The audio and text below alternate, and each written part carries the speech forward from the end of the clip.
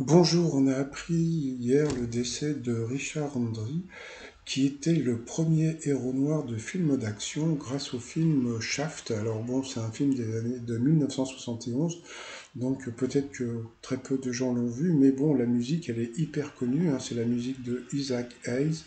Donc bon, c'est vrai que c'est un carton, là on peut le voir avec euh, Isaac Hayes justement. Euh, après, donc il a, fait d'autres films, mais, ben, mais bon, c'est son rôle le, le plus marquant, hein. donc on ne connaît pas la cause de son décès, mais qu'il repose en paix tout simplement. Bye bye.